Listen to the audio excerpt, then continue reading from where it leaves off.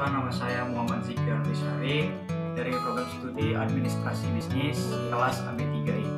Di sini saya akan menjelaskan bagaimana sistem perhitungan permintaan dan penawaran. Baik, langsung saja.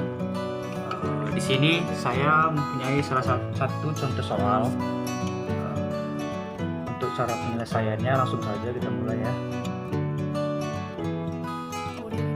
Untuk mengetahui rumus permintaan dan penawaran, saya menggunakan rumus ED sama dengan delta Q per delta V dikali P per Q.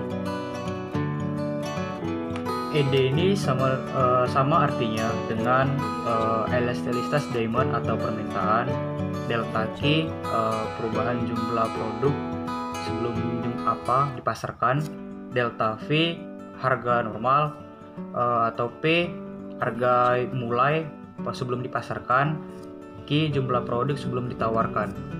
Langsung saja ya. ED sama dengan delta Q Rp40.000 per delta V-nya ada Rp2.000 dikali V-nya ada 50 unit.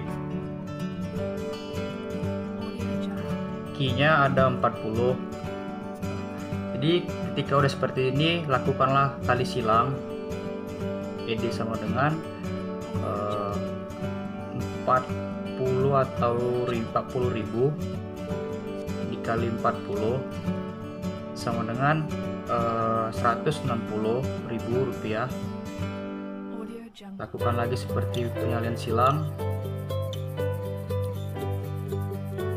2000 dikali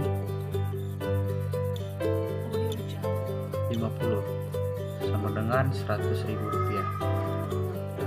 Ketika dapat hasil yang kedua tersebut langsung saja dijumlahkan ED sama dengan 160 ribu rupiah ditambah 100 ribu rupiah sama dengan 260 ribu rupiah jadi besarnya elastisitas pada permintaan dan penawaran untuk memulai harga cabai itu sebesar 260 ribu rupiah Oke, ini saja kesimpulan dari tutorial video saya ini.